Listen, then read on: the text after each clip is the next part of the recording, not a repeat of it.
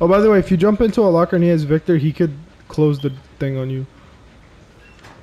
Close the what? Like hold the locker closed, yeah.